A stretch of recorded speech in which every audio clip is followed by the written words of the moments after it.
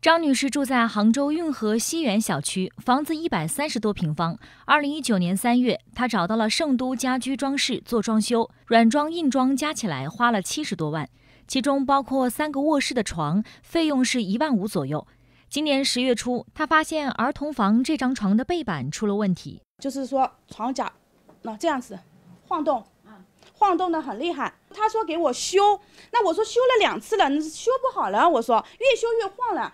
张女士说：“相比客厅，三个卧室经常产生刺鼻的异味，再加上儿子之前流过鼻血，她怀疑床可能有问题。然后我就把床扒开来看看，它打开来全部都是纸板，这呢，这个是纸板，全部都是纸板，就是这么薄薄的一层的。整面就是呢，这边他用的就是一个好像是我我不知道他们叫什么，反正我们这边叫密度板呢，就是那这两这边固定了一个板，然后从这一块到。”翻到背面那一块，全部它是纸，然后中间是镂空的。当时我这人都崩溃了，我说这个床，那再怎么样，你不能这样子，就是诓我们老百姓啊，对不对？张女士说，床背板大部分材料是这种纸板，只有几毫米厚。订购清单显示，这张床床位用高密度中纤板，优质安木底架。张女士表示，当时订购时，工作人员告诉她床是全实木的。那种中纤板的话，然后用的这种材质的话是比较多的。当时我们材质上备注的也是说，主要的一个就是承重的，然后这一块的，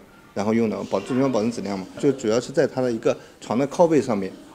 也就是说，非承重的一个一个一个一个地方，都是用那种木料，然后去去做成的。就是说，可能就是说比较薄了，然后就接近于就纸板了嘛。它这个是不影响它正常一个使用的。文经理表示，床的主体结构多数是中纤板，背板用的中纤板确实比较薄，但不是纸板。至于另外两张床是怎么样的，因为没有拆开，暂时还不能明确三张床是否环保。他们会向厂家要相关证明。张女士也可自行去检测。本身我的床架就是实木为主的呀，单子跟实户实货本身就是有点不符的。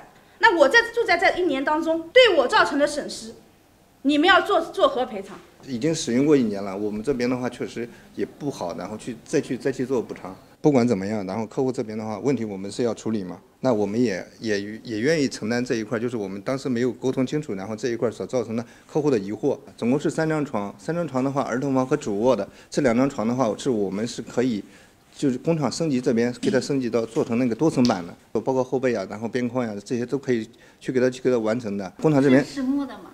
呃，这个怎么说呢？就是嗯，实木多层的，只能这样去说。多层板不是实木板。文经理说，客卧这张床暂时没有升级工艺，可以做退换货处理。双方最后协商，三张床都换成新的。